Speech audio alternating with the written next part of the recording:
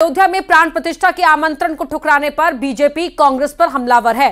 Deputy CM Rajendra Shukla ने कांग्रेस पर दुविधा में होने का तंज कसा तो वहीं कांग्रेस ने ध्रुवीकरण की राजनीति का आरोप लगाया।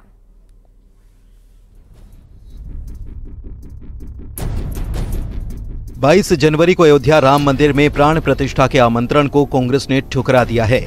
इसे लेकर बीजेपी हमलावर है। डिप्टी सीएम राजेंद्र शुक्ल ने कांग्रेस पर निशाना साधा और कहा कि जिन्हें बुलाया गया है जाना चाहिए।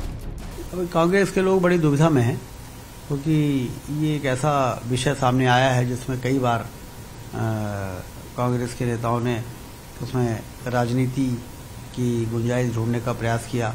पहले तुष्टिकरण के नाम पर किनारा करते रहे, और बाद में जब ऐसा लग रहा कि सारा काम हो गया है तो अब क्या करें, क्या ना करें। बहुत ही दुविधा के दौर में इस मुद्दे को लेकर कांग्रेस गुजर रही है इसीलिए कभी कोई कहते नहीं जाएँगे कभी कोई कहते पहले जाएँगे कभी राजेंद्र शुक्ल के बयान पर नेता प्रतिपक्ष ने पलटवार किया। उमंग सिंघार ने कहा कि प्राण प्रतिष्ठा कार्यक्रम में नहीं जाने का फैसला पार्टी का है।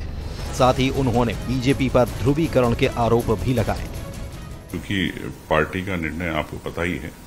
मैं इतने कहना चाहता हूँ कि हर घर में राम है हर घर में हर व्यक्ति पूजा करता है। तो क्या उसी मंदिर में जाके सबको पूजा करना है कि घर में पूजा नहीं करे?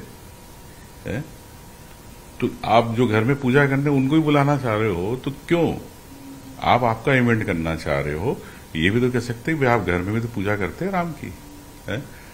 तो ये आप समझ सकते हैं कि ये पूरे देश के एक राजनीतिक रूप से ध्रुवीकरण का एक मुद्दा है। राम मंदिर में प्राण प्रतिष्ठा के कार्यक्रम में कांग्रेस नेताओं के नहीं जाने के फैसले के बाद से बीजेपी हमलावर है।